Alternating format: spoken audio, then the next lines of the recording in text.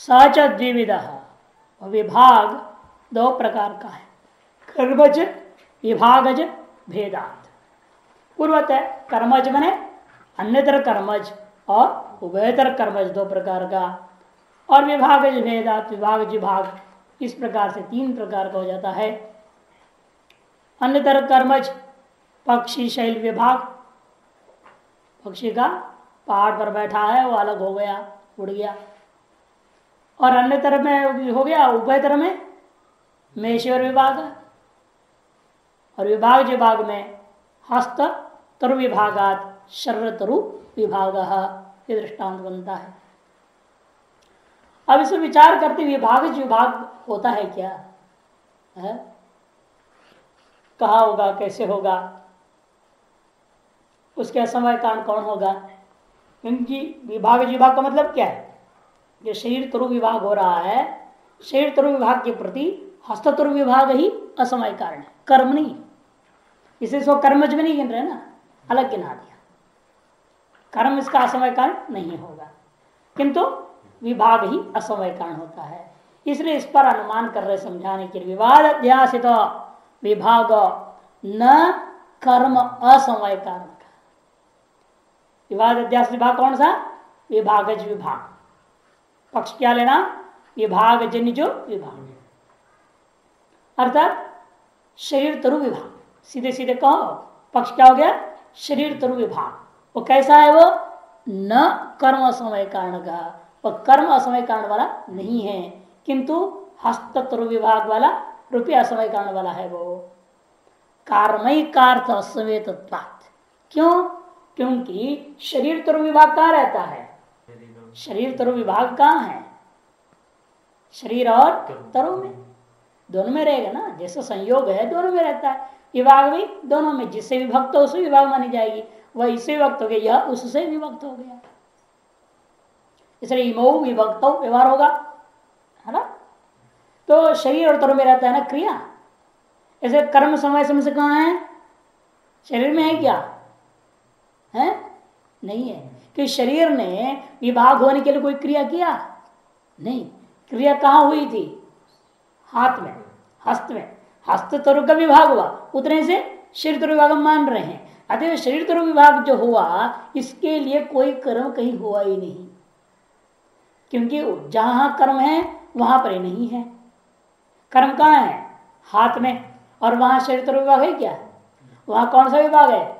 हस्तत्र विभाग का विभाग हस्त में रहता है। शरीर तरु का विभाग जो है, शरीर में, हस्त में नहीं है। इसे कहते हैं कर्म एक अर्थ असंवेदता कर्म का है? हस्त में। उस एक कर्माधिकरण, एक अर्थ में अधिकरण। कर्म का अधिकरण कौन है? हस्त। वहाँ पर असंवेद है। कौन सा? शरीर विभाग। शब्दवत दृष्टान देते हैं शब्द के समान। शब्द भी कैसा शब्द देना यहाँ पर? सामान्य शब्द देना नहीं किंतु न न। विभागजन्य शब्द। क्यों विभाग विभाग का दृष्टांत बना रहे हैं ना हम। इसलिए हम विभागजन्य लेना है हमें कर्मजन्य नहीं लेना शब्द शब्दजन्य भी नहीं। विभागजन्य कैसा? जैसे कपड़े फाड़ दिया फर्र करके आवाज़ आ गया। बाँस को पाट दिया चट चट चट चट कर आवाज़ आ रहा है। धन शब्द वंश दल विभाग से चट चट चट जो आवाज़ आ गया। वो शब्द कैसा है? विभाग वंश का दरद्वय को विभाग किया तो आवाज़ आई कपड़े का अवयों को फाड़ दिया, अलग कर दिया तो आवाज़ निकला। उसको लेना वो विभागजन्य है कि नहीं? तत्वते विभागजन्य क्रियाजन्य नहीं है वो शब्द। वो शब्द के लिए आपने कोई क्रिया किया गया आपने जो क्रिया किया, कपड़े को फाड़ने के लिए किया। आपने जो क्रिया की है, बाँस को फाड़ने का क्रिया की है उस क्रिया से, शब्द से कोई लेन देन नहीं था। वो क्रिया ने तो विभाग को पैदा किया और उस विभाग ने शब्द को पैदा कर दिया। यहाँ पर भी क्या हुआ? हस्त में क्रिया हुई। क्यों? हस्त को तरु से अलग करने के लिए। और उसी क्रिया का जन्य जो विभाग है, उस विभाग ने क्या कर दिया? हस्त, शरीर तरु का विभाग को भी पैदा कर देता है। यथा बाँस में आप देखते हो, कपड़े में देखते हो, क्रिया कहीं हो रही है, उससे जन्य विभाग ने आगे और एक कार्य को पैदा कर इसका विभाग। इसलिए क्या है? जो अन्य कार्य जो पैदा हुआ विभाग आदि शब्द आदि उसके प्रति कर्म जो है असमय कारण नहीं रहा।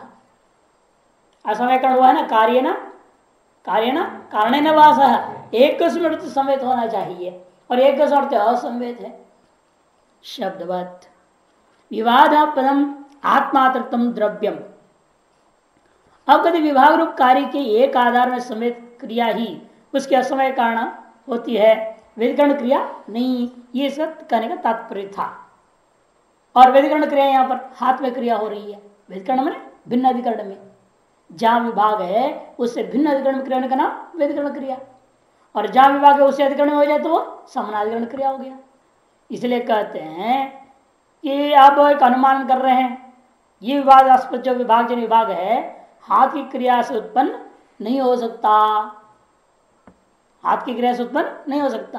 किंतु वो हाथ और शरीर के विभाग से उत्पन्न। मैंने क्रिया हाथ में हुआ, क्रिया से उत्पन्न क्या हुआ पहले? हाथ का तरु से विभाग पैदा हुआ। और उस विभाग ने क्या कर दिया? शरीर और तरु का विभाग को भी उत्पन्न किया। ये यहाँ व्यवस्था है। अब कहते हैं, ठीक है। विवादास्पद, यहाँ लेंगे हम ईश्वरादि नित्य वस्तु। विवादाध्यासित, विभाग विवाद विवादास्पदम आत्मातिरिक्तम द्रव्यम। केवल आत्मा अतिरिक्त नहीं है ना आकाश में ले लो यहाँ आकाश और आत्मा से अतिरिक्त जो द्रव्य उन नित्य द्रव्यों को लेना। आकाश और आत्मा से अतिरिक्त द्रव्य कौन है? ईश्वर, काल और देश, दिशा। ये तीन नित्य द्रव्य है। ये भी विभाग विभाग का आधार होता है। इस विभाग विभाग की इस तरीके से भी करेंगे हम। ये भी कैसे हो रहे हैं?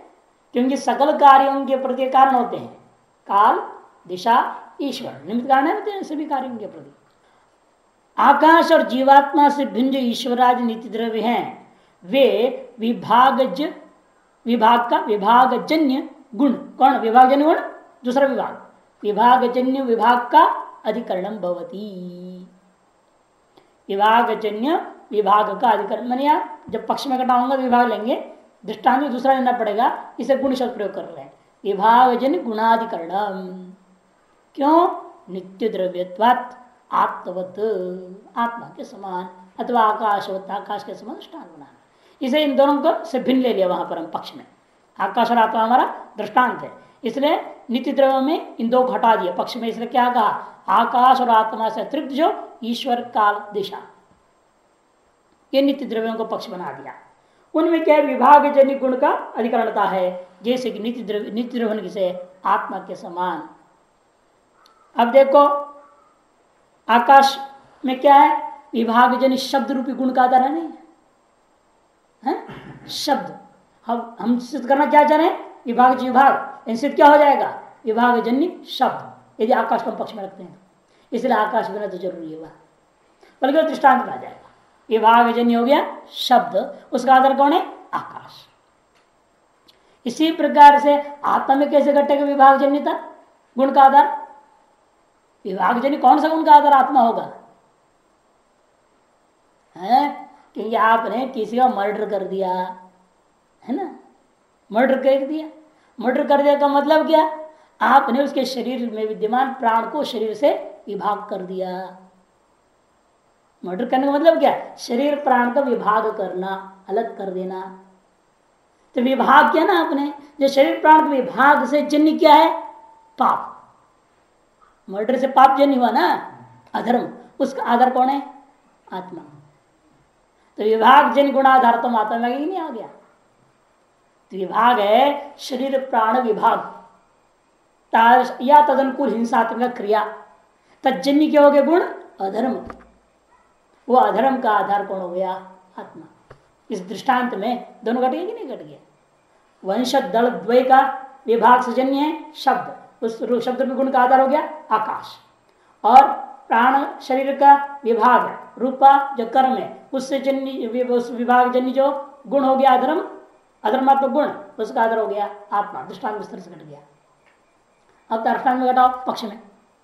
तब आसान हो जाएगा। नित्य द्रव्य तो हेतु तो है ही वहाँ। जैसे आत्मा और आकाश नित्य द्रव्य तो दृष्टांत में निद्रवित हेतु तो पक्ष में है ही, ईश्वर में, काल में, दिग में। और वो सब कैसा है? विभाग विभाग के आधार। इस तरह से विभाग विभाग सिद्ध हो गया कि नहीं हो गया? ये अनुमान से भी। वह कौन सी विभाग जन विभाग है वहाँ? ईश्वर काल दिग में। क्योंकि आप जो भी विभाग करेंगे, मान लो आपने किसी भी चीज़ को किससे भी अलग कर दिया, विभाग हुई कि नहीं हुई? उससे जन्य उसका संबंध किसके साथ था? ईश्वर से भी है, काल से भी है, दिख से भी है। उससे भी अलग किया कि नहीं आपने? दो अवयव जुड़े हैं। इसको आपने अलग किया।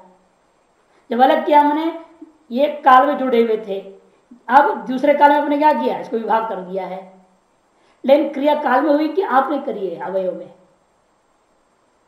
इन अवयवों को अलग करने में क्रिया अवयव में हुई। यहाँ हुई जो क्रिया क्या किया? इन दो अवयवों को अलग कर दिया। जब अवयवों को अलग कर दिया तो ये जो विभाग है अवय में उत्पन्न विभाग क्रिया विभाग, वह विभाग इस अवयव का, ईश्वर संयोग को भी विभक्त कर दिया। काल संयोग का भी विभाग हो गया। और इसलिए उनमें भी क्या हो गया? विभाग पैदा हो गया। इसलिए जैसे यहाँ हस्त का तरु से विभाग कर दिए तो शरीर का भी तरु से विभाग हो गया। कहीं हस्त संबंध द्वारा शरीर का भी संबंध तरु के साथ है। इसे अवैध संयोग में भी क्या हो रहा है? इस अवय का इस अवय के साथ जैसे संबंध हो रहा है, तद्वत ईश्वर का भी अवयव के द्वारा उसके साथ संबंध है। काल का भी संबंध है। दिशा दिक का भी संबंध है। क्योंकि हर एक वस्तु किसी न किसी काल में, किसी न किसी दिशा में है और ईश्वर के द्वारा अधिष्ठित है। सब का संबंध वहाँ बना रहता है। आपने जब यह का संबंध तोड़ोगे तो वहाँ का उसके साथ उसका विभाग माननी पड़ेगी। इसलिए कहते हैं, यथा हस्ततरु संयोग का विभाग होने से शरीर का विभाग हो जाता है। इसी पर कपाल का विभाग करने से ईश्वर कपाल का भी विभाग हो गया। और वह करेगा ईश्वर में या इसे वो कहाँ से हुआ था? कपाल का विभाग करने से हुआ है। वहाँ कोई क्रिया हुई क्या ईश्वर में? जब क्रिया कहाँ हुई? कपाल में। उसने कपाल देव का विभाग कर दिया और उस कपाल के ईश्वर के संयोग जो था, वो भी विभक्त हो गया। अतः उसको विभाग विभाग का आधार कौन है? ईश्वर हो गया। तद्वत काल विधि भी समझना। यहाँ कदा आत्मत्व उपाधि दे दूँगा। कदा न चात्मत्व उपाधि, ईश्वर विचारा। क्योंकि ईश्वर अभी साध्य भी व्याप्त नहीं हुआ है, सिद्ध नहीं हुआ है ना? ईश्वर क्या है हमारा? पक्ष कोटि में। वहाँ साध्य सिद्ध है क्या? नहीं। वहाँ साध्य भी सिद्ध नहीं है। और लेकिन वहाँ आत्मत्व उपाधि है या नहीं? साध्य भी नहीं है वहाँ, किंतु उपाधि रह गया। साध्य भाव उपाधि चला गया। पक्ष रूप स्थल में, कि पक्ष एक देश है, ईश्वर। पक्ष में ईश्वर है, काल है, दिग्ध है। उसका एक देश हो गया, ईश्वर। उस ईश्वर में क्या है होगा आत्मत्व तो है ही। लेकिन वहाँ साध्य सिद्ध है क्या अभी? नहीं। अतः साध्य संव्याप्ति आत्मत्व में नहीं आया। और होना क्या चाहिए उपाधि को? साध्य संव्याप्त होना चाहिए। और ये साध्य संव्याप्त नहीं रहा। पक्ष देश भूता ईश्वर में साध्य भी असिद्ध होने के नाते साध्य सिद्ध करना है हमने वहाँ। अभी सिद्ध हुआ नहीं है। तो सिद्ध नहीं हुआ है का मतलब अब एक तरह से वहाँ साध्य का अभाव ही माना जाएगा। उस अभाव वहाँ पर है, वह आत्मत्व उपाधि बैठ गया। इस साध्याभाव से व्याप्त हो गया ईश्वर में। अतएव उपाधि विचार दोषग्रस्त होने से यह उपाधि नहीं हो सकता। इतना ही और स्पष्ट कर दे रहे हैं, आगे दृष्टांत में भी गड़बड़ होगा। आकाश है जो व्याप्त भावात आकाश में क्या है? साध्य है है ना? आकाश में वंश दल जन्य शब्द का दल द्वय का विभाग किया। उस जन्य शब्द का विवरण कौन है? आकाश। साध्य तो वहाँ पर बैठा हुआ है। विभाग जन्य गुणाधिकरण गुण मन शब्दाधिकरण आकाश में आ गया। लेकिन वह आत्मत्व है क्या? तो साध्य है, उपाधि नहीं है। तो भी विचार मानी जाएगी। व्याप्ति नहीं रहा वहाँ पे। दोनों तरह से साध्याभाव हो और उपाधि रह जाए तो वे विचारी है। और साध्य हो, उपाधि न हो तो भी उपाधि विचारी हो गया। मैंने किसी भी तरह से साध्य समव्याप्त उपाधि नहीं रहा। अन्य तो आप अपने सिद्धांत सिद्ध कर दिया, और कुछ लोगों का कहना है, कारण विभाग से भी कारण विभाग हो जाता है। कारण विभाग को भी कारण मानते हैं। कारण विभाग, जन्य विभाग। कारण विभाग से जन्य विभाग। मानते, कुछ लोग, उसका खंडन कर रहे हैं। कुछ लोग क्या है, इनके ही वैशेषिक दर्शन के भाष्यकार मानते हैं। उस भाष्य के खंडन कर रहे हैं। इधर ज़बरदस्त खोपड़ी वाला है ये। वैशेषिक दर्शन का प्रशस्पद आचार्य ने जो स्वीकार किया, कारण विभाग से भी जन्य विभाग होता है। उसका खंडन कर दे, ऐसा नहीं हो सकता। कई जगह गड़बड़ी हो जाएगी सिद्धांत मानने में। वो आरंभ कर रहे अन्य तु अन्य मने भाष्यकार। द्रव्यारंभक संयोग विरोधी विभागोत्पत्ति काले नावैव कर्म आकाशादि देशात विभागारंभक कर्मत्वादि ब्रुवते। जैसे कमल है, घट है, कोई भी ले लो, कार्य। और कार्य द्रव्य का कारण कौन होता है हमेशा? अवय होते है या नहीं? तो कार्य द्रव्य के कारण हो गए अवयव। जैसे घट का अवयव कपाल, कमल फूल है, उसके बाद क्या वो सारी पोंगड़ी, वो जो खिलते हैं, क्या हो रहे विभाग हो रहे कि नहीं हो रहा है? बंद थे। अब यूँ अलग हो रहे विभाग हो गया। यहाँ संयोग इस देश में सारे पंगुड़ियों की यूँ फूल गया, खिल गया तो वो विभाग हो गया। अवयवों का विभाग हो रहा अवयवों में। कि एक पंखुड़ी तो कमल नहीं है, सारे मिलके हैं। इसलिए ये सब क्या अवयव है अवयव, क्या है वो? कमल का कारण है। कमल रूपी अवयवी का कारण कौन है? उसके पंखुड़िया रूपी अवयव। केवल पंखुड़िया नहीं, और भी सारी चीज़ें हैं, लेकिन अवयव भी कारण है या नहीं उसके? तो वो जो अवयव में विभाग हुआ, उससे वो कहते हैं, क्या करेगा? आकाश विभाग पैदा कर देगा। ऐसा वो मानते हैं। अवयवों में विभाग होने से ही आकाश के साथ उसका विभाग पैदा हो गया। अब इसका विरोध कर रहे हैं कि नहीं हो सकता। देखो, द्रव्य आरंभक। द्रव्य आरंभक कौन है? अवयव। उन अवयव के संयोग का विरोधी विभाग उत्पत्ति काले। विभाग का जिस समय उत्पन्न हुआ, उस उत्पत्ति काल में न अवयव कर्म। आकाश आदि देशात विभाग आरंभकम उत्पन्न क्रिया जिस समय द्रव्य आरंभक से विरोधी विभाग को उत्पन्न करती है, उस समय आकाशीय देशों के साथ उन अवयों का विभाग नहीं करती। मान यही क्रिया उस विभाग को पैदा नहीं करेगी। क्यों? क्योंकि कर्मत्ता इति ब्रोते कर्म होने के नाते। कि जिस अधिकरण में रहेगा, उसी अधिकरण वो पैदा करेगा, अन्यत्र वो पैदा नहीं करेगा। कमल आदि, देखो, हिंदी में दे रहे हैं, बढ़िया। कमलादि कार्य द्रव्यों के अवयवों में उत्पन्न क्रिया। जिस समय द्रव्य आरोग्य संयोग विरुद्ध विभाग को उत्पन्न करती है, उस समय आकाश आदि देशों के साथ उन अवयवों का विभाग नहीं करती, क्योंकि वह अवयवगत क्रिया है। आकाश क्रिया तो है नहीं, ऐसे उनका कहना है। उनका यह कहना उचित नहीं। उनका यह कहना उचित नहीं है। क्यों? तदसत आकाशे न विभागम आरभते। कर्मत्वात। हम कहते हैं, वही क्रिया आकाश के साथ विभाग को आरंभ कर दिया। क्योंकि यहाँ और पहले में अभी में बहुत अंतर है। समझ लेना पहले। ये जो अवयव हैं, अवयव में क्रिया हुई तो इस अवयव से इसका विभाग हो गया। और यही क्रिया अब यहाँ जब संयुक्त था, जिस आकाश से संबंध रखा था, यहाँ से हटेगा तो क्या होगा? उस आकाश के साथ तो उसका विभाग होगा कि नहीं हो गया? उसी क्रिया से। अलग क्रिया करने की ज़रूरत नहीं है। इधर लोक से भी देख रहा है कथा नहीं कैसे प्रशस्त भाषाकार ने गलती करी है ये। वो कह अवयव जो क्रिया में हुई क्रिया, आकाश से विभाग को पैदा नहीं करेगी। उसे अलग से क्रिया करनी पड़ेगी। इसी अवयव में कहते कोई ज़रूरी नहीं है। वादी वाग्य कहते हैं, लोक में भी किससे पूछना, मूड से भी पूछ लो भी बता देगा, भाई, जिस अवयव में क्रिया हुई है, जिस क्रिया के कारण से उस अवयव का दूसरे अवयव के साथ संबंध जैसा टूटा और विभाग उत्पन्न हुआ, उसी प्रकार से उस अवयव में हुई उसी क्रिया के द्वारा आकाश के साथ उसका विभाग उत्पन्न हो ही जाएगा। ये जो हमने जो पहले कहा है, विभाग विभाग, उसमें क्या था? विभाग दूसरी जगह हो रही थी ना। शरीर तरु विभाग हो रहा था।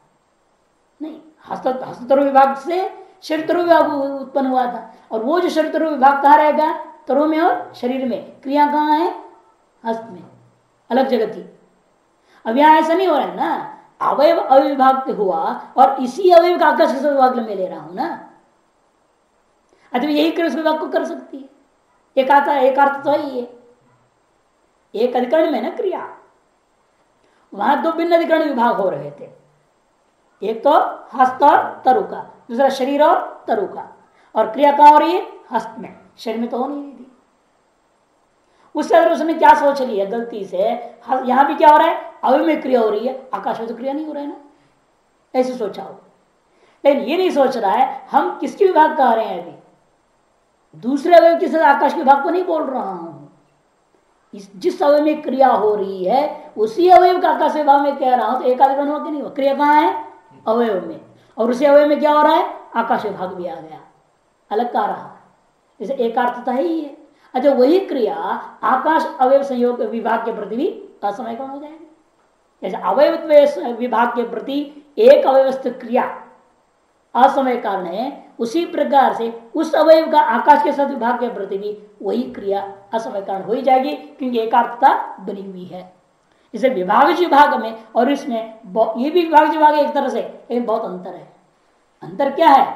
क्योंकि आकाश के विभाग का आधार कौन हम देख रहे हैं? हस्त ही है। वहाँ पर शरीर के विभाग आधार कौन था? हस्त नहीं था तरु था। यहाँ एक, दो अंगुली अवय मैंने अंगुली ले लो, यहाँ हाथ है। या हाथ की जब क्रिया के साथ संबंध जुटी, इसी हाथ का आकाश के साथ विभाग मान रहा हूँ मैं। तो वहाँ अलग क्रिया की ज़रूरत नहीं है। विभाग विभाग में हमने क्यों मानना पड़ा था? वहाँ दोनों का जो हस्त था, शरीर था। और इस हस्त का तरु से विभाग में, क्रिया हुई हस्त में। लेकिन शरीर का तरु के साथ विभाग मान रहा हूँ? शरीर का हस्त विभाग माना गया? नहीं। यदि शरीर हस्त विभाग की बात होती, वहाँ भी हम विभाग विभाग नहीं मानते। विभाग विभाग की ज़रूरत है।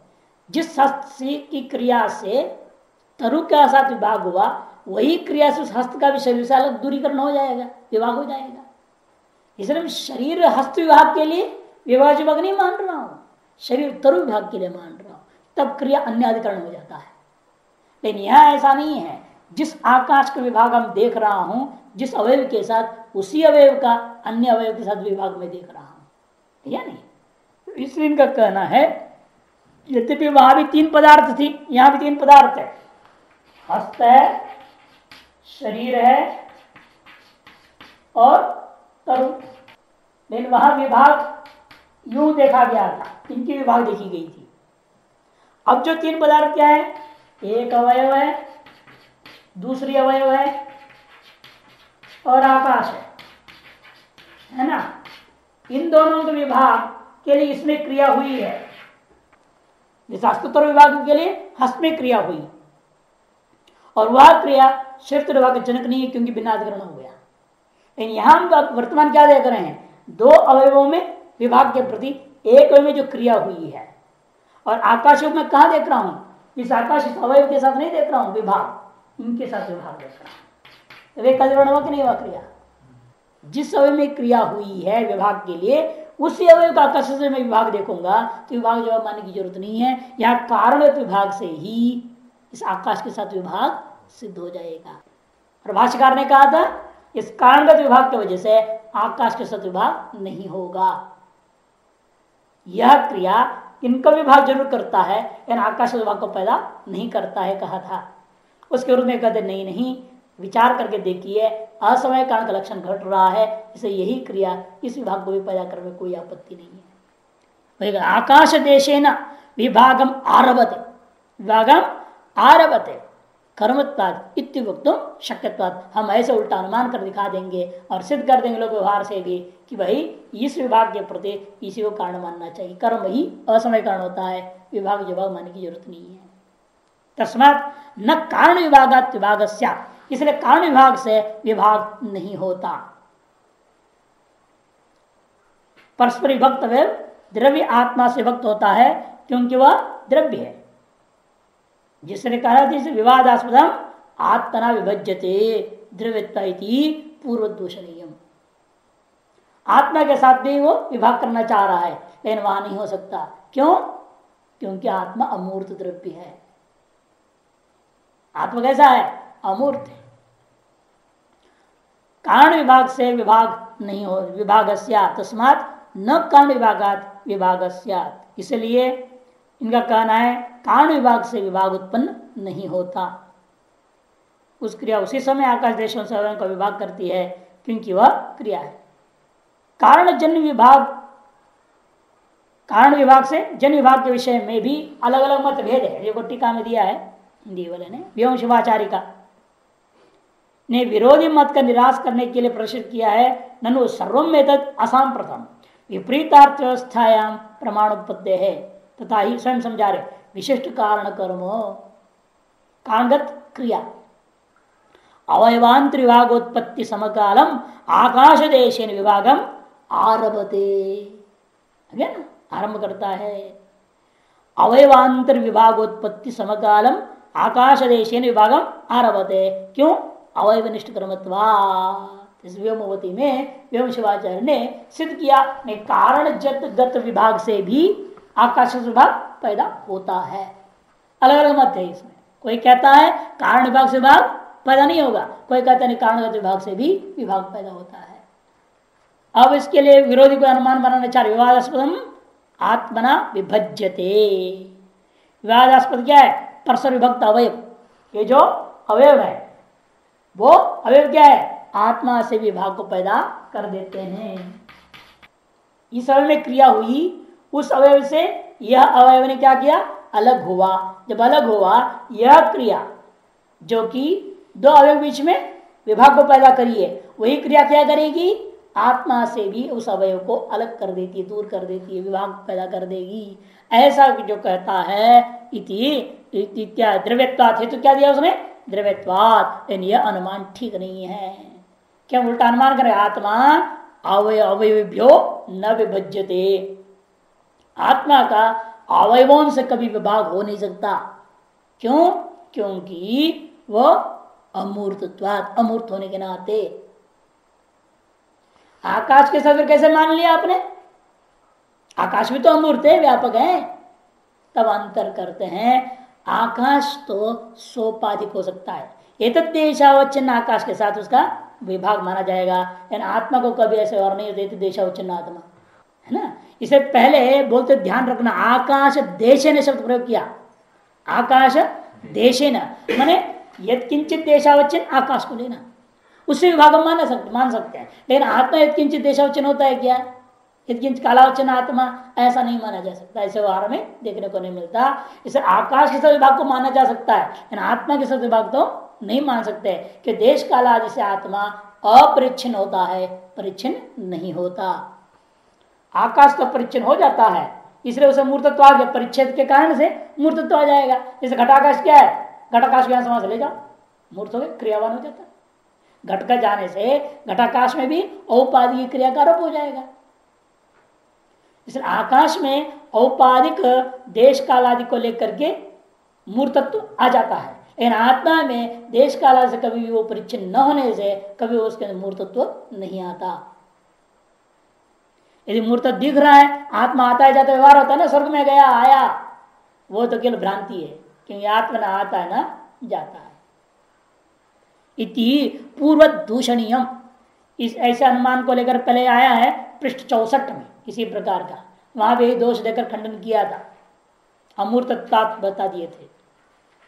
पृष्ठ चौसठ में देख लो चाहे पंक्ति बता देता हूँ। आत्मा। आकाशन न संयुजते अमूर्तत्वात रूपवत। तो सर, यहाँ पर अगर आत्मा अवयवेभ्यो न विभजित यहाँ क्या करना यहाँ अवयवेभ्यो न विभजित बना लेना। आत्मा जो है, अवयवों से विभक्त नहीं होता। क्यों? अमूर्तत्वात रूपवती दृष्टान बना देना। बाकी सब वही रहेगा अनुमान में। वहाँ संयोग का मामला था, यहाँ विभाग का मामला है। और किन से विभाग हो रहा है? यहाँ अवयवों से। वहाँ किसकी बात हुई थी? आकाश के संयोग की बात। इस वहाँ पर आकाश न संयुजते कहा। और यहाँ क्या कहेंगे? अवयवेभ्यो न विभज्यते। ऐसा अनुमान करेंगे। आत्मा अवयवेभ्यो न विभज्यते। क्यों? अमूर्तत्वात रूपवत, ऐसा अनुमान करेंगे। चौसठ पृष्ठ में जैसा है, ठीक उसी के जैसे यहाँ भी अनुमान हो जाएगा।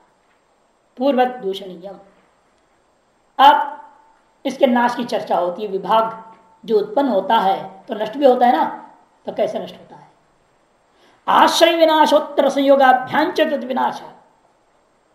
आश्रय नाश और उत्तर संयोग के द्वारा दो।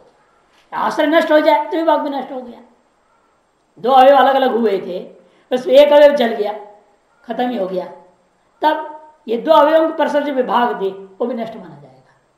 कि क्योंकि विभाग एक में होता नहीं है, दो का पीछे में। एक भी अवधि नष्ट हो जाए, अब इसमें भी उससे अलग विभाग है कि कहा, कैसे और होगा? उससे, उसकी दृष्टिकोण में दोनों विभक्त होकर के विभाग इसमें है। ऐसे व्यवहार कैसे करूँगा जब वो है ही नहीं? इसीलिए आशय नाश आशा। नाश होने की ज़रूर नहीं दोनों नष्ट होना। जिन दो अवयव में विभाग हुई है, दोनों का नाश होना ज़रूर नहीं। एक भी नष्ट हो जाए, विभाग नष्ट हो गया। क्योंकि वे दुष्ट गुण है। ये क्या है ये? दुष्ट गुण है। जो दो में रहने वाला होने के नाते एक भी असर नष्ट हो जाए तो क्या कहोगे? दो में है बोलोगे? एक भी नष्ट हो जाए तो ये व्यवहार नहीं हो सकता ना कि दो में है।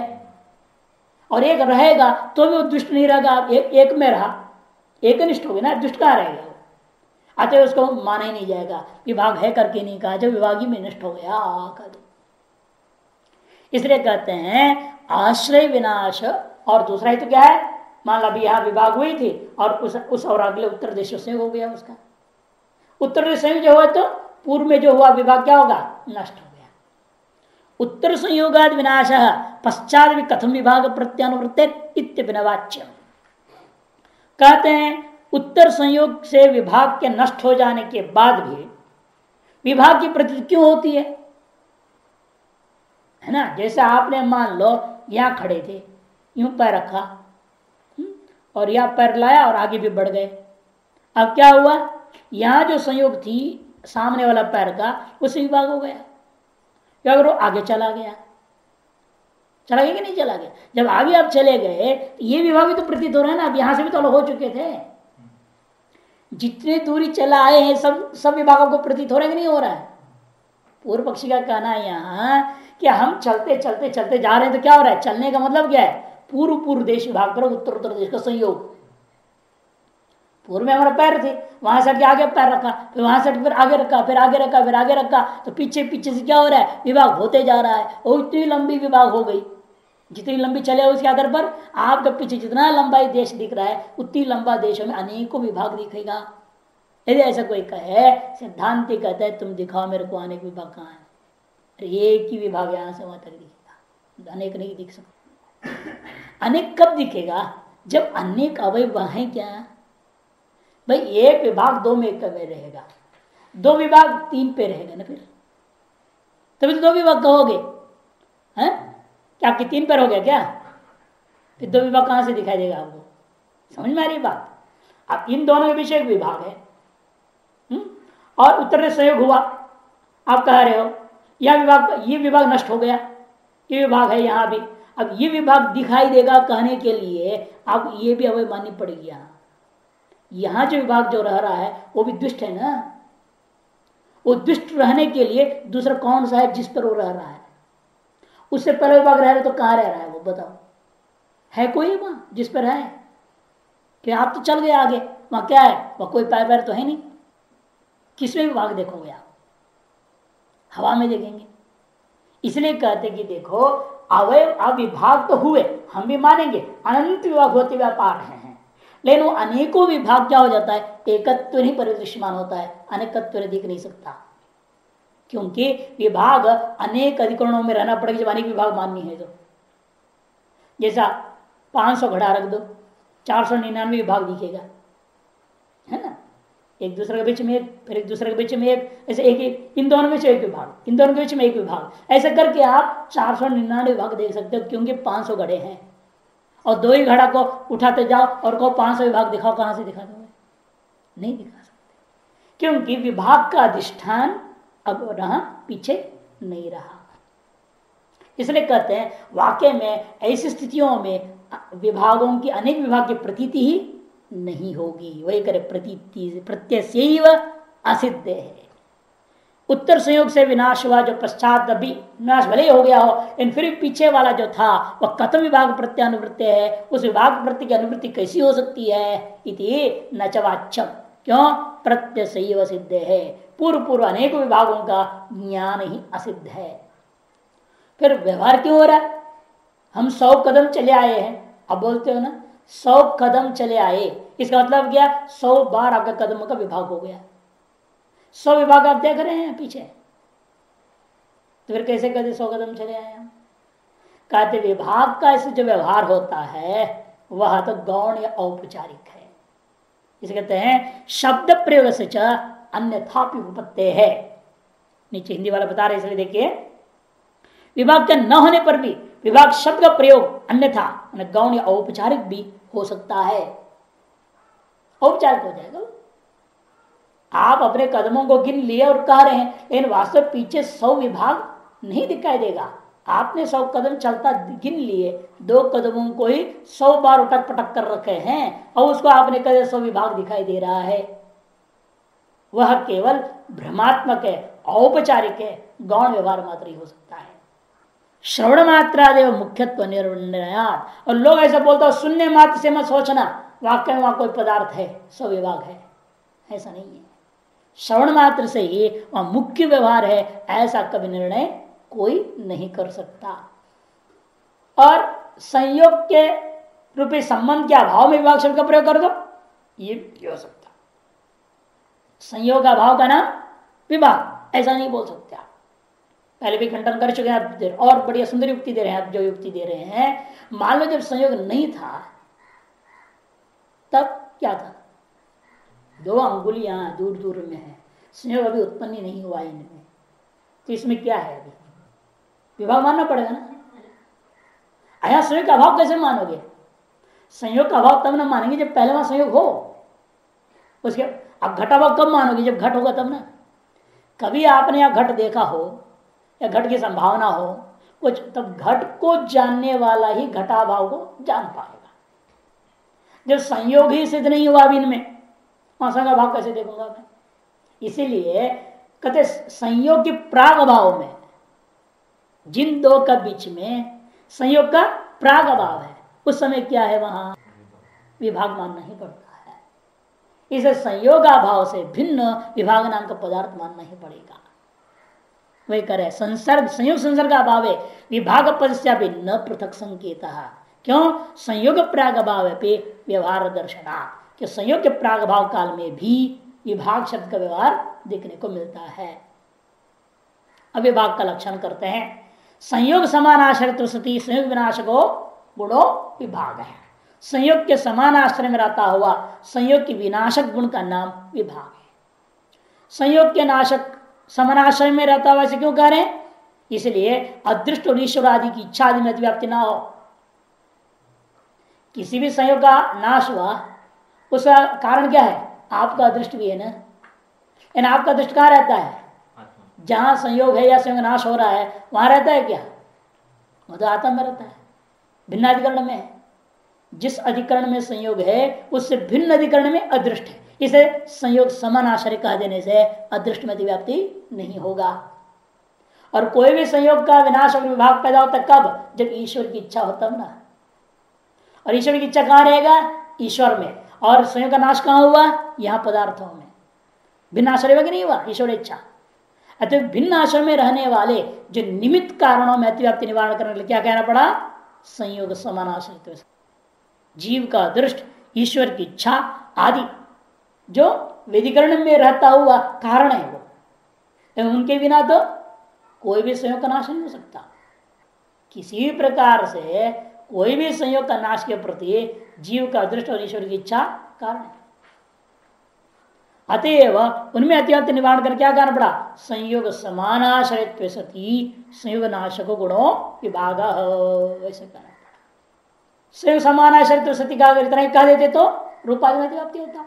इस संयोग नाशकत्म कहना पड़ेगा, दोनों अवयों को पदकृत्य।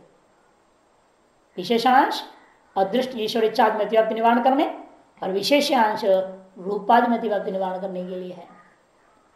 इस प्रकार से विभाग रूपी गुण की सिद्धि हो गई। और परत्व परत्व निरूपण परत्व और अपरत्व का निरूपण करते हैं। पहले कालिक परत्व की सिद्धि के लिए अनुमान प्रयोग किया जाता है। कि परत्व परत्व क्या दो प्रकार के ना? कालिक और दैशिक। कालिक परतम ज्येष्ठत्व कालिक अपरत्व कनिष्ठत्व दैशिक परतम दूरत्व दैशिक अपरत्व समीपत्व दूर को देशिक पर कहा जाता है, समीप को देशिक अपर कहा जाता है। और ज्येष्ठ को कालिक पर कहा जाता है, कनिष्ठ को कालिक अपर। अब पहले कालिक परत्व को सिद्ध करेंगे। एक एक करके जाए, उसके अगर अपरत्व हो जाएगा अपने आप। कल विवादास्पदम दृणुकाधिकारियम परमाणु वृत्ति अदृष्ट गुण जनकम विवादास्पद गणुकाधिकारी कैसा है? परमाणुओं में रहने वाला अदृष्ट गुण का जनक है। परमाणु में रहने वाला अदृष्ट गुण का जनक है। अदृष्ट गुण कौन है यहाँ? परत। परत क्या है? दृष्ट गुण नहीं, एक में रहने वाला है। किसी अवधि की अपेक्षा ज़रूर रहता है, लेकिन परत एक ही में रहेगा, दोनों में नहीं रहेगा। जैसे आपसे बड़े भाई है, वो बड़े भाई में जो ज्येष्ठत्व है, भाई आपकी अपेक्षा से ज्येष्ठ है वो। यदि आप हो तो ज्येष्ठ कहाँ से होता हो? ये छोटा भाई ना हो तो बड़ा भाई क्या व्यवहार होगा क्या? व्यवहार हो ही नहीं सकता। यदि भी आपकी अपेक्षा से सब बड़ा कर व्यवहार हो रहा है लेकिन वह जो फरक है बड़ापन, ज्येष्ठत्व, दोनों में रहेगा क्या? वो गुण तो एक ही में रहेगा जो बड़ा है। इसीलिए परत्व जो ज्येष्ठत्व है, वो क्या है? एक अधिकरण में रहने वाला है कि दो अधिकरण में रहने वाला हुआ? यद्यपि अपेक्षा दो का है, लेकिन रहता है वो एक में। दो के दृष्टिकोण में कहा जाता है। इसके दृष्टिकोण में वो ज्येष्ठ हो गया, उसके दृष्टिकोण में कनिष्ठ हो जाता है। अपेक्षा करते दोनों में। ये छोटा भाई, क्यों छोटा भाई है? क्योंकि कोई बड़ा है, तभी तो छोटा है वो। नहीं तो वही बड़ा हो जाता। से बड़ा छोटा भाई की जो व्यवहार होता है, वो एक दूसरे की अपेक्षा लेकर के, एक दूसरे को अवधि मान करके है, लेकिन वो गुण रहता कहाँ है? एक ही में होता है, विशेषता ये इसकी। इसे इसको संयोग विभाग आदि में अंतर्भाव नहीं कर सकते। वो सब क्या है? वो दो में रहने वालों में से है। एक में रहता हुआ दूसरे की अपेक्षा ज़रूर करता है व्यवहार के लिए। ऋषिकेश के से अपेक्षा से हरिद्वार से बनारस क्या है? नज़दीक है। और हरिद्वार से जब ऋषिकेश से दूर है। कहा जाता है? अवधि की अपेक्षा तो है। दूरत्व कहाँ है लेकिन? बनारस में। कि यहाँ से हम गिन रहे हैं? ऋषिकेश से बनारस दूर है और हरिद्वार से बनारस नज़दीक है। इसलिए ये अवधि मात्र है इन दूरत्व और समीपत्व किसमें बनारस में मानी जाएगी। ये अवधियाँ हैं केवल उसके लिए। इसलिए सापेक्ष होने के नाते कहते कि देखो, ये अब इसी प्रकार से अब कालकृत की विचार हो रही है। आप ये बताओ, कारण पहले रहता है कि कार्य पहले रहता है? तो कारण पहले है का मतलब क्या, पहले का मतलब क्या? कालकृत पूर्व, है ना? नियत पूर्व क्षण वृत्तित्व कारणत्म है ना? नियत पूर्व क्षण वृत्ति का नाम कारण है। अर्थात क्या है? एक क्षण अधिक कम से मानना पड़ेगा। ज्येष्ठ हो कि नहीं हो गया वो? कारण पहले रहा, कार्य बाद में। कारण पहले से ही विद्यमान होने से कारण ज्येष्ठ हो गया और तो उत्तर काल उत्पन्न होने वाला होने से कार्य कनिष्ठ हो गया। अच्छा परमाणु क्या है? कारण है। उसे परत्व के नहीं आ गया? किसके दृष्टिकोण से परत्व उसमें? दुणुक से। इसलिए दुणुक क्या हो गया? परमाणु में परत्व का जनक हो गया। यदि दुणुक पैदा ना होता परमाणु में कारणत्व नहीं होती, अर्थात कालिक परत्व नहीं होता। इसलिए पक्ष हम क्या लेंगे? दुणुकादि काल। ये क्या कर रहे हैं? परमाणुओं में कालिक परत्व को पैदा कर रहे हैं। कि कार्य पैदा होने से उसे परत्व आया। जैसे किसी को बाप कहोगे, कैसे कहोगे? बेटा पैदा होने से तो बाप बोलोगे उसको। ऐसे थोड़े किसी को बाप कहा जाएगा। ऐसे दुणक उत्पादन ना हो तो परमाणु में कारण तो कहाँ से आ जाएगा? है? नहीं आ सकता ना। और कारणत्व आने का मतलब क्या? कालिक परत्व आना कालिक परत्व। और कार्य में क्या हो जाएगा तब? कालिक अपरत्व आ जाएगा। तो उत्तर बाद में पैदा हुआ अपरत्व कनिष्ठ हो गया या नहीं? इस तरह से सिद्ध कर रहे देखो विवादास्पद मने दृणुकादि कार्यम परमाणु में विद्यमान अदृष्ट गुण का जनक है। अदृष्ट गुण कौन है? परत्व, उसका जनक है। ठीक उल्टा अनुमान भी कर सकते हैं देखो। परमाणु होगा, कार्यवृत्ति दृष्ट गुण की जनका परमाणु क्या कर रहे हैं? कार्य में रहने वाले अदृष्ट गुण कौन लूँगा? अपरत्व का जनका जनक होते हैं। या नहीं? परमाणु का कारण क्या करेंगे? जब अपने कार्य पैदा करेंगे, इस उस कार्य में कनिष्ठत्व पैदा कर दिया। अतएव हमेशा बाप बड़े होते हैं, ज्येष्ठ होता है, पुत्र कनिष्ठ ही होता है। उल्टा नहीं हुआ ना कभी? बाप का उम्र जो है पच्चीस और बेटा का उम्र पचास, ऐसा कभी नहीं होता। है? इसलिए यहाँ भी कहते, देखो, कारण कम से क्या करेगा? कार्य में कनिष्ठ तो ही पैदा करेगा, अपरत्व ही पैदा करेगा। अगर कारण को पक्ष में ले लो अभी, परमाणव। दोनों माने यहाँ, परत्व के लिए अपरत्व हेतु एक ही है। हेतु एक ही देंगे। इस दृष्टांत में एक ही हो से भी चल जाएगा, दो अलग अलग दृष्टांत बना देंगे, देखिए। परमाणु व कार्य में दुणुक में वृत्ति जो अदृष्ट गुण हो गया अपरत्व, उसका जनक होते हैं। क्यों? हेतु दिया मूर्तत्वात। पहले वाले अनुमान का दृष्टांत दिया पार्थिव परमाणुवत। दूसरे वाले अनुमान का दृष्टांत दिया घटवच्च इस प्रकार से कालिक परत, कारणों में और कालिक अपरत्व कार्यों में सिद्ध कर दिया। विवाद पदम स्वारब्ध द्रव्य गुणजनकम द्रव्य सती द्रव्यारंभक कहते कि देखो, विवादास्पद वस्तु क्या लेना है? काल और दिशा, दोनों को ले लेना। कि काल की परत होता है, अपरत होता है। देश की परत अपरत होता है। काल और दिक्कल और कोई परत और अपरत का कारण नहीं होते। इसे क्या करते हैं? ये विवाद कौन है? काल और दिशा। वो क्या होते हैं? वो अपने में पैदा हुआ द्रव्यों में परत और का गुणों को उत्पन्न करते हैं। क्योंकि सकल कार्यों के प्रति काल और दिग कारण है। आकाश भी कारण है। ईश्वर भी कारण है, साधन कारण में से। जन्यानाम जनक काल है इसलिए कह दिया। जन्यों का जनक काल होता है। अच्छा काल से ही आरब्ध है सारा का सारा कार्य। या नहीं? काल से ही जन्य स्व आरब्ध द्रव्य कह दिया। काल और दिक, इनसे, इन साधारण कारणों से उत्पन्न, अर्थात इनमें उत्पन्न जो जो द्रव्य है, उन द्रव्य में क्या होता है? गुण जनकम एक काल और क्या करते हैं? परत और अपरत नाम के गुणों को उत्पन्न करते हैं। क्यों? द्रव्यत्व सती द्रव्यारंभकता द्रव्य होते हुए वे दूसरे द्रव्यों को, कारणों, कार्यों को उत्पन्न करने वाले होने, वाले वस्तु होने से। दृष्टांत क्या? ईश्वरवत, जैसे ईश्वर भी सारे सारे जगत उत्पन्न करने वाला है। वो द्रव्य होता हुआ सारा जगत रूपी द्रव्यों का आरंभ का ईश्वर? वही तो बैठ रहा है। और वह ईश्वर भी क्या कर रहा है? इन सभी के कार्यों में अंदर तथा धर्मों को पैदा कर रहा है। स्वार्थ द्रव्य में गुण का जनक है। ईश्वर की इच्छा से ही तो अग्नि गर्म है। जल ठंडा है। न जल गर्म होता, अग्नि ठंडा होती, यदि ईश्वर की ऐसा इच्छा होता तो। लेकिन ईश्वर की इच्छा से सारा संसार के वस्तुओं के स्वभाव तय है।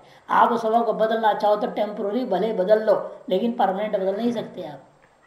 टेम्पोररी आपने पानी को गर्म कर लिया परमानेंट गर्म कहाँ से मेंटेन करोगे? नहीं कर सकते। उड़ ही जाएगा सब बाप के खत्म हो जाएगा। गर्म करते रहोगे तो उड़ते जाएगा, खत्म। इसे कोई भी चीज़, में, हम लोग मंत्र से, या जड़ी बूटियों से अग्नि को ठंडा कर दिया। धक धक जल रहा है, लेकिन आपके चमड़े को नहीं जला रहा है। उसके दाहकत को स्तब्ध कर दो। कितने देर तक करोगे? हैं? हमेशा के लिए अग्नि को ठंडा कर दोगे सब जगह, सारी दुनिया की अग्नि ठंडे हो जाए। यहाँ मंत्र मार दो, यहाँ से। नहीं होता। जो सामने में जितनी अग्नि है, उतनी में ही वो करेगा। सारी दुनिया का अग्नि ठंडा नहीं हो जाएगा उसके मंत्र से। सिद्ध करते हैं लोग और आग पर चलते हैं। कुछ नहीं होता उन। मंत्र सिद्धि है आराम से चलेंगे, आर पार होंगे। इसलिए कहते कि देखो कि ये ईश्वर के समान है। ईश्वर भी ऐसा ही स्वार्थ द्रव्यों में गुणों को उत्पन्न करता है।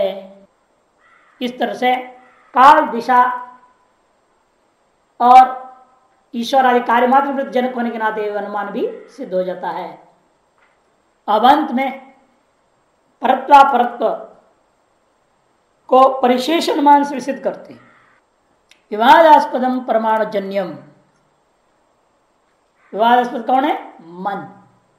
वो कैसा है वो? परमाणु जन्य है। क्यों? कर्म हेतु अदृष्ट गुणाश्रय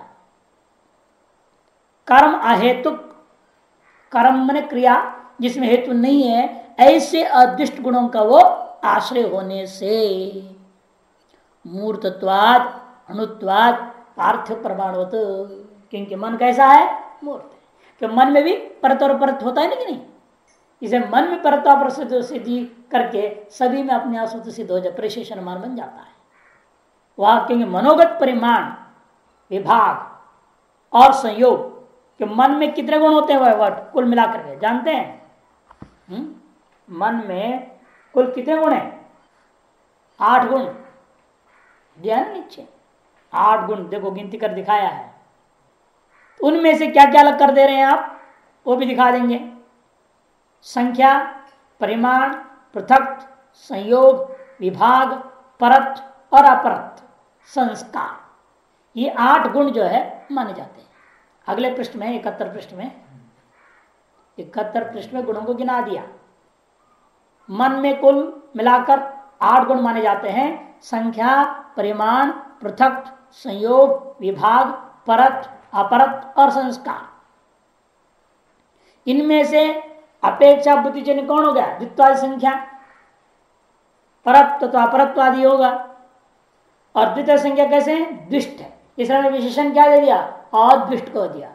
अदृष्ट संस्कार बचेगा कौन आपके पास? बुद्धिजन्य गुण। केवल परत और अपरत्व ही शेष रह जाता है। इसलिए यहाँ पर अनुमान में बता रहे हैं कि विवादास्पद जो मन है, वह परमाणु जन्य है। कर्म का हेतु को मैंने कर्म हेतु नहीं है जिसमें ऐसे अदृष्ट गुण कौन? परत इनका आश्रय होने से। क्योंकि वो मूर्त द्रव्य हैं अथवा अनुद्रव्य हैं, जैसे कि पार्थ परमाणु। मनगत परिमाण में अतिव्याप्ति निवारण करने के लिए परमाणु जन्यम कह दिया। परिमाणु जन्यम कहने से परमाणु में अतिव्याप्ति निवृत्त हो गया। और विभाग में अतिव्याप्ति निवारण करने और संयोग में अतिव्याप्ति निवारण करने के लिए क्या कहना पड़ा? कर्म अहेतुक। कर्म अहेतुक और अद्विष्ट ये सब प्रयोग करने पड़े। परिशेष तो क्या होगा? परत्वा परत्व ही विशेष गुण सिद्ध हो जाते हैं। मन में रहने वाला विशेष गुण कौन है? परत्व और अपरत्व। बाकी सब सामान्य गुण है। तदेव सिद्धयो परापरत्व व्यवहार आदि सिद्ध कहते यद्यपि हमने अनुमान से सिद्ध कर दिया। परत्व अपरत्व ये चीज़ें जो है, लोक में तो व्यवहार से भी सिद्ध है। बड़ा, छोटा भाई व्यवहार सिद्ध हो जाए, दूरी और नजदीकी, सारी व्यवहार से ही सिद्ध है। भले हमने अनुमान बना दिया, प्रयोग करके सिद्ध कर दिया, लेकिन अनुमान आदि के बिना भी ये जो अनुमान जानते नहीं है, वो लोग भी कालिक परत, अपरत, देशिक परत, अपरत का व्यवहार कर ही रहे हैं। इसे व्यवहार से भी ये दोनों चीज़ सिद्ध है, समझो। अन्वय व्यतिरेकाभ्याम च आदित्य परिवर्तन देश संयुक्त संयोगाल्पीयस्व भूयस्व ज्ञान से हेतुत्व ये परत्व परत का कारण कौन है? निमित्त कारण कौन है? समय कारण तो अपने जान लिया। जिस द्रव्य में है, वही है। असमय कारण भी जान रहे हैं। कहते आप निमित्त कारण बता रहे कि भाई, सूर्य का परिवर्तन, सूर्य का जो भ्रमण यद्य देश में हो रहा हो तद देश संयुक्त होकर के संयोग का अल्पियस्त और भूयस्त। उसी किरण जितनी अधिक संयोग हो गया और जितना कम संयोग होगा। आप, इसलिए क्या पूछा जाता है? जब कुंडली बनाते हैं, आपका तारीख पूछा जाएगा, समय पूछा जाएगा और स्थान पूछा जाएगा। स्थान महत्वपूर्ण है। आप अभिमान लंदन में हो, पैदा हुए थे महाराष्ट्र, मुंबई में। लंदन के हिसाब से थोड़ी कुंडली बनेगी। क्योंकि जिस जन्म में जन्म हुआ था सूर्य का संयोग, जहाँ मुंबई में हुई थी, उसी मुंबई में आज तक कितनी कुल मिलाकर हो रखा है, समय बीत चुका है, सूर्य से हो चुका है, और सारा गिना जाएगा। और नहीं तो क्या होगा? इंग्लैंड के सब जाएँगे तो साढ़े पाँच घंटा घट जाएगा। साढ़े पाँच घंटा सूर्य संयोग कम है। ये समस्या हो जाएगी। उतनी फिर आयु की गणित, सारा गणित गड़बड़ा जाएगा। इसीलिए एक बार ऐसे ऐसे हँसी मज़ाक में एक सिनेमा बना। यमराज जी का भूल सिनेमा था। उनके चेड़ों को भेज दिया। मैं जाओ वहाँ से जो है, अमुक बेड, हॉस्पिटल नंबर बता दिया। अमुक हॉस्पिटल, अमुक बेड से मुर्दा को लाओ। आदमी को इतने टाइम को मरना है। और हुआ क्या बाई चांस जो है, वहाँ से वो मरीज़ जो था, लघु शंगा करने उठ के चला गया। और उस बेड पर उसकी सेवा में रहा है, उसने छोड़ थोड़ी देर मैं पैर लंबा कर लेता हूँ। जो सेवक था, वो लेट गया। सेवा में जो था उसे जब मैं अपने थोड़ी पैर लंबा करूँ खड़े खड़े दर्द हो गया है। वो तो गया है। पाँच दस मिनट लगेगा तो मैं आराम करता हूँ। इतने में टाइम के हिसाब से जो मर रहा था, जो उसको उठा कर चल दिए। जो मरना नहीं, वो मर गया। मरीज़ अपना बाहर से आकर देख रहा, अरे सेवक तो मर गया। अच्छा समस्या खड़ी हो गई। अब वहाँ गए यमराज जी के पास, तुम्हारा नाम क्या बोलते मेरा नाम जो देवदत्त है। अरे, ये कैसा हुआ? यज्ञदत्त वाला आदमी मर मर के आना था। ये देवदत्त कैसे आ गए यहाँ पे? फिर यमराज जी जाँच कराए। जाँच कर पता चला ऐसे गड़बड़ हो गया। यमदूतों ने विचार नहीं किया और उसको उठा के ले आए। तो यमदूत कहते, मैं क्या करूँ? ये तो देश आवचिन ये तो काला आवचिन जो भी वहाँ मुर्दा, आदमी रहेगा, उसको तो मुझे जलाना है। मैंने ले आया। अब कैसे होगा? वो वो जो शरीर था, उसको तो फूंक दिए देवदत्त का। अब एक दिन ज़िंदा रह गया। अब देवदत्त को वापस भेजो तो कैसे भेजो हेमराज जी सोच रहे हैं। देवदत्त को भेज भी दिया जाए किस शरीर में जाएगा? अरे तो को लाऊँगा तो कैसे होगा काम? सारी व्यवस्था बिगड़ गई। हेमराज जी परेशान हज़ार उल्टा हो गया। ईश्वर क्या कहेगा? तुम्हारे क्या राज चल रहा है भाई? जो पहले मरना चाहिए मरा नहीं। जो बाद में मरना चाहिए वो पहले मर गया। बड़ा सुंदर नाटक क्या सिनेमा बनाया था उसमें। और पंत में क्या करते उसको वहाँ लाते हैं। यमराज जी कहते, चलो, हम स्वयं देखेंगे, कुछ रास्ता निकालेंगे। रास्ता क्या निकाला? वो हड्डी थी उस अभी वो गंगा में प्रवाहित नहीं किए थे। है ये मारे अच्छा हुआ, नहीं तो उद्धार हो गया होता, इसका गंगा जब डाल देते तो। गया में श्राद्ध कर उसको उद्धार हो गया होता। तो हम तो इसको जन्म ही नहीं दे पाते दोबारा। अब ये हड्डी, अभी अभी भी वैसे का वैसा है। अब इसका न गया, श्राद्ध हुआ, कोई श्राद्ध ढंग का हुआ नहीं है। अब इसको दोबारा ज़िंदा कर। वो हड्डी से उसने देवत का शरीर बना दी। अदेव शरीर तो बना दिया, और उसने देवत को छोड़ दी। देवत उसने छोड़ दी तो ज़िंदा हो गया। अब इधर से जो है यज्ञ का शरीर को उठा के ले आई, वो मर गया अब ये जब घर पहुँचता है तो लोग सब घर भूत आ गया। हम मुसीबत ही मुसीबत चिंता को कौन माने हुए वो तो, तो, तो फूंक दिए थे तो कहाँ से आए? अब वो सुना रहे सारी कहानी यमराज जी ने ऐसे ऐसे किया ऐसे ऐसे हुआ मेरे साथ। कौन सा तो झूठ बोलते यमराज जी तुम्हें वापस भेजा गया? ये ज़रूर भूत प्रेत है इसे घर में मत रखो। भगा लो मेरे घर से बाहर निकाल दिया। बहुत हँसी मज़ाक उसके अंदर खूब मज़ा है कहने मतलब काल जो है इतने महत्वपूर्ण है। परत परत के प्रति इसलिए वो जो सूर्य का परिस्पंद है, परिस्पंद कहते हैं परिवर्तन, एक ही चीज़ है यहाँ, परिवर्तन। जिस देश संयुक्त हुआ था, उस संयोग के अल्पयस्त को लेकर के कनिष्ठत्व भूयस्त को लेकर ज्येष्ठत्व, की ज्ञान के प्रति कारण इसमें हेतुत्व भवती।